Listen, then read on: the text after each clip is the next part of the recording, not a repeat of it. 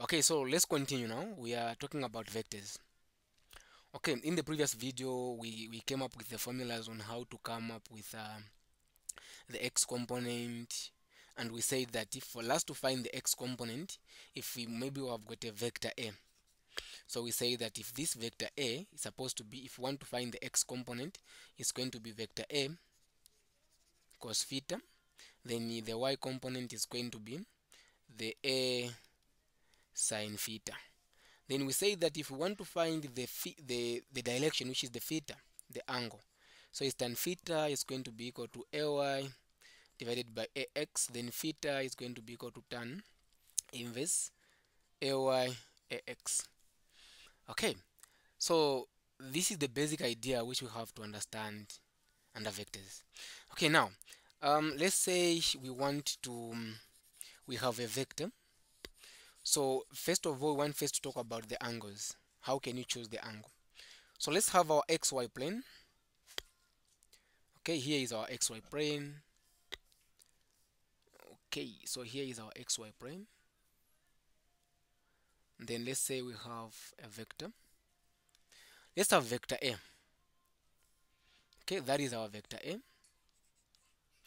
Now maybe we have been given the angle to say this angle here is 20 degrees to resolve vector a into x and y the angle which we are going to use is going to be the 20 so as long as we are talking about the vectors, we are measuring the angles from positive x-axis. So this is negative, this is negative y, this is positive y.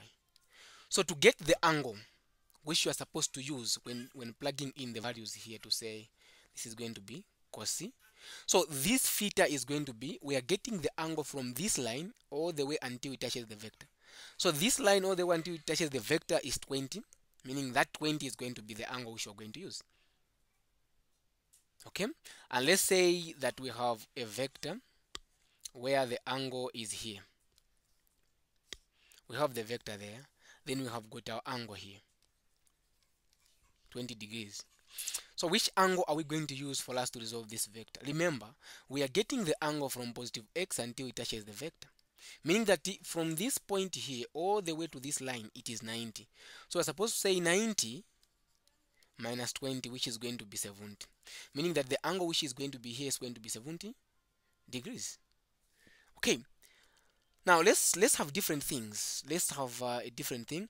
Let's say we have um, the angle a vector which is somewhere there okay then we have been given that here is 40 degrees so to resolve this vector into x and y component, we are supposed to get the angle. The angle which we are going to use is supposed to come from this line until it touches that line.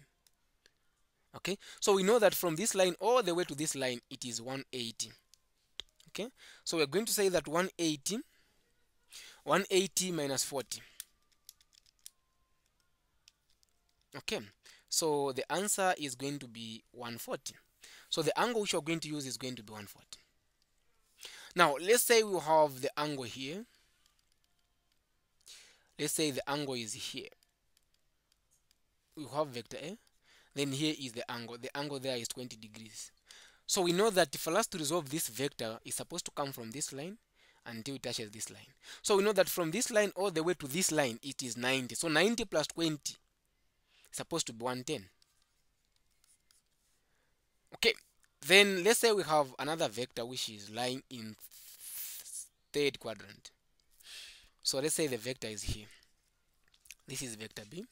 Want to resolve vector B into x and y component and let's say that the angle which is here is um, is uh, 30 degrees. Remember we want to get the angle from this line from this line all the way until it touches this line. So we know that from this line here all the way to this line is 180 so 180 plus 30 is going to give us what? Um, it's going to give us 210 okay? So that one you have to know. Now let's say we have another another thing which is here. Let's say the angle is here.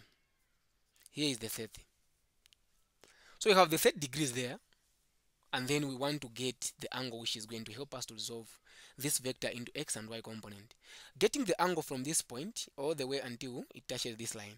We know that from this point all the way to this line is 180 then we know that from this point all the way to this point is 90 so we're going to say 90 minus 30 which is going to be 60 meaning this part is 60 so it's going to be 180 plus 60 degrees.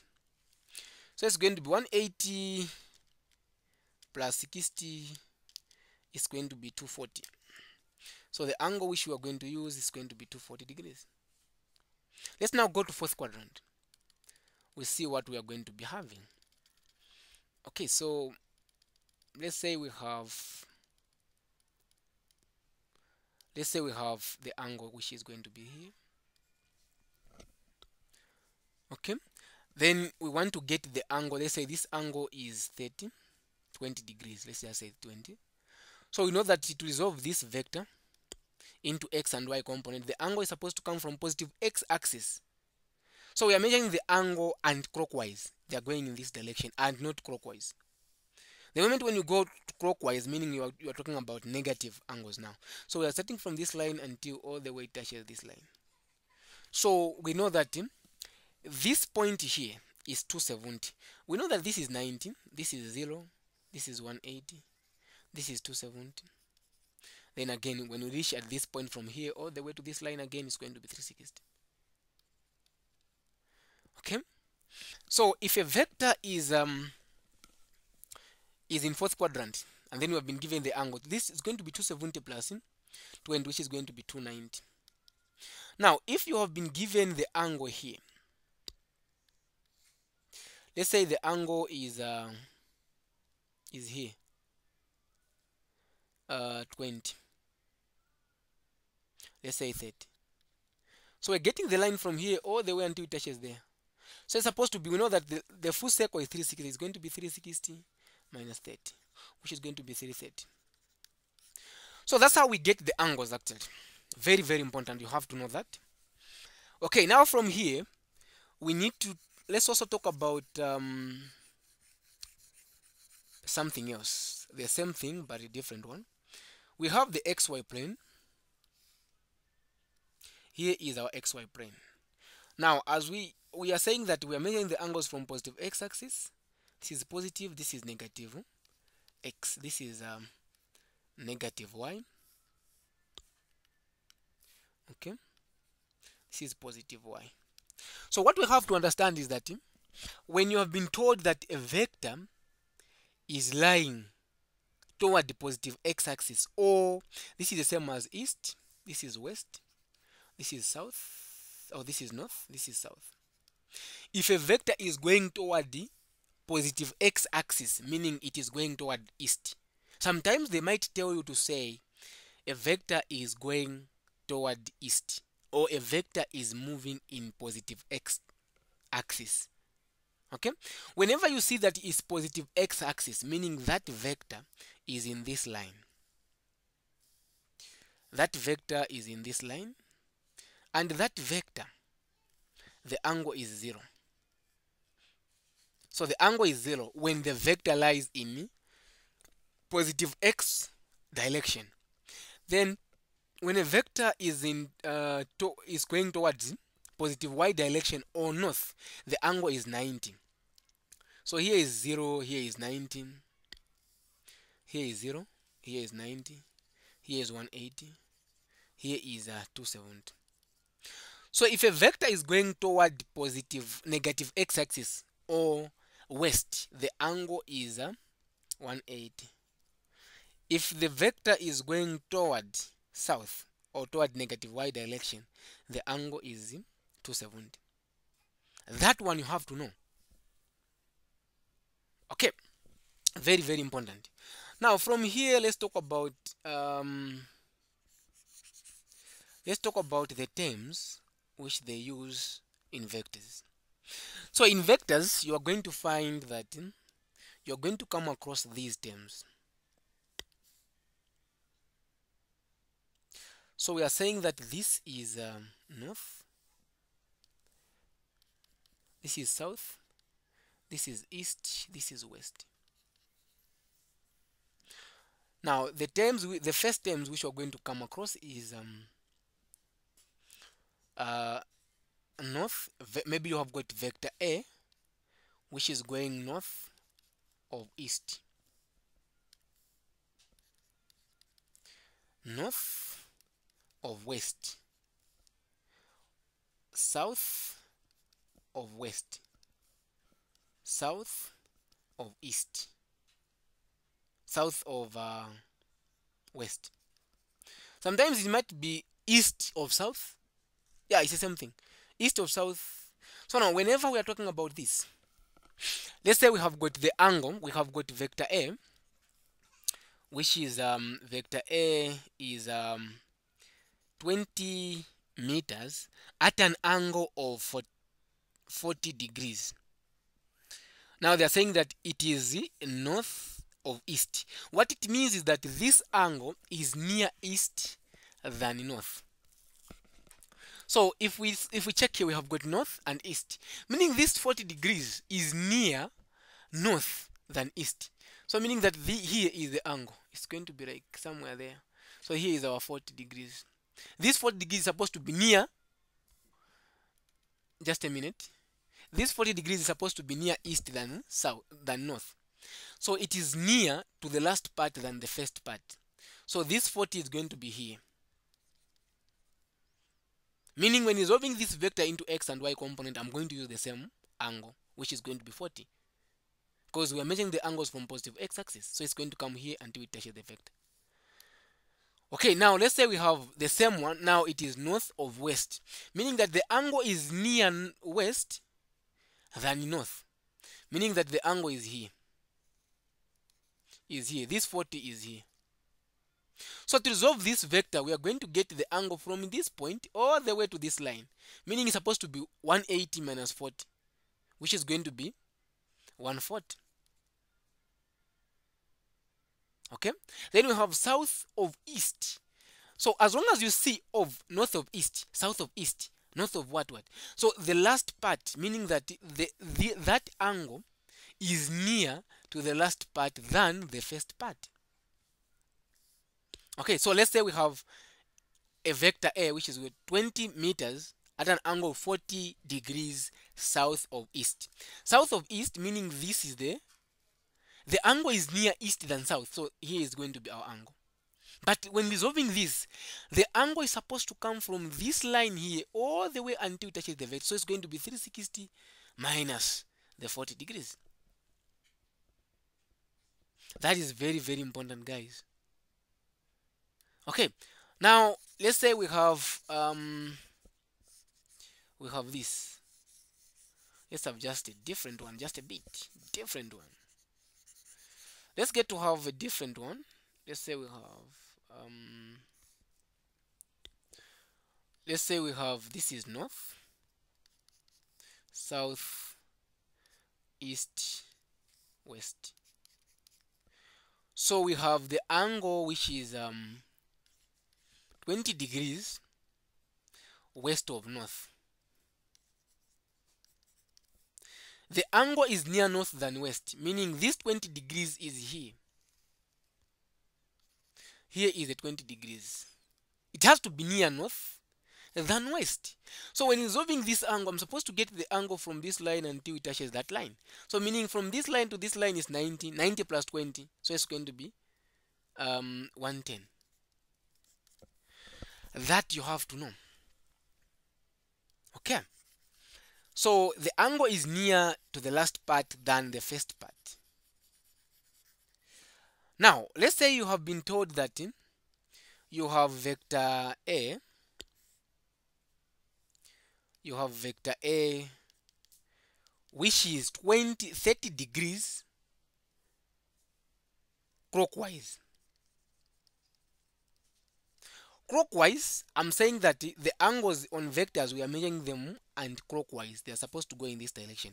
Whenever you see clockwise meaning the angle they have measured it using in that direction meaning it is going toward negative meaning that angle is starting from here until somewhere there that will be our what? That will be our 30 so to get the angle which we are going to resolve this it's going to start from this line until it touches this line. It's going to be 360 minus minus 30 or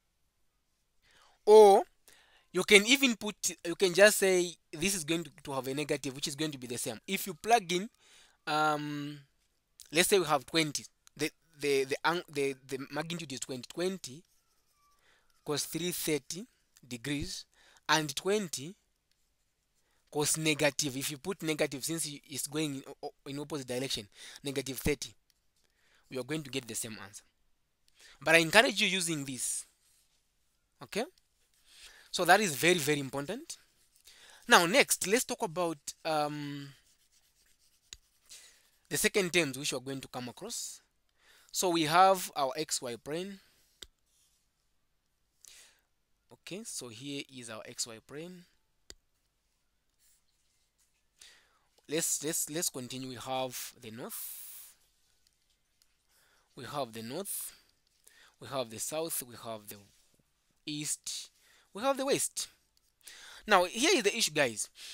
Uh, you are going to come across some certain terms. They are going to tell you that we have angle the vector a which is 20 meters. No they are going they're not going to give you the angle but they're going to tell you that it is lying northeast. Sometimes they can say northwest. Sometimes they can say southeast. Then they can say southwest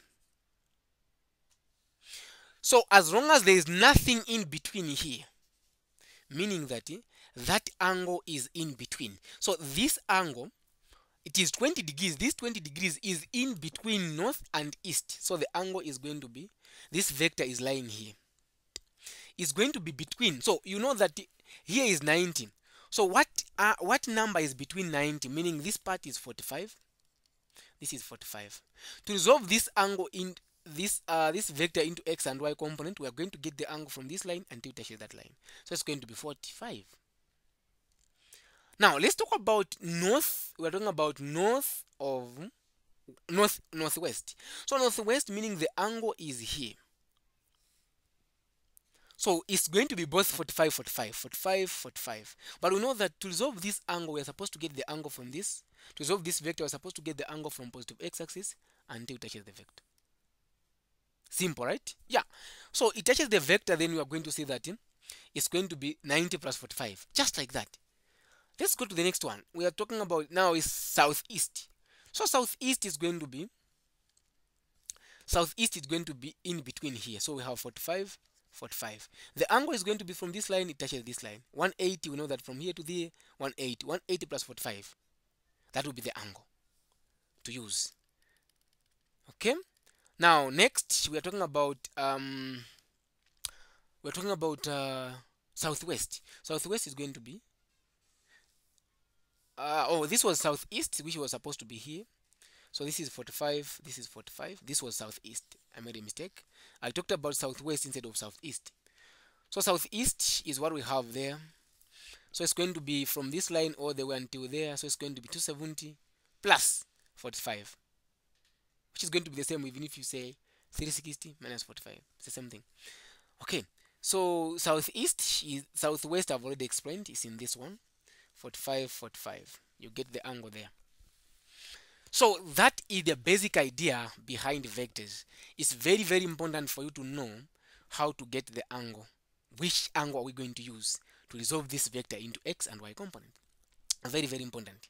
Next lesson we are going to talk about how to know to say this angle falls in this quadrant this quadrant this quadrant and how to get the angle and how to represent them and also how to sketch the vectors. Okay thank you for watching this video. See you in the next lesson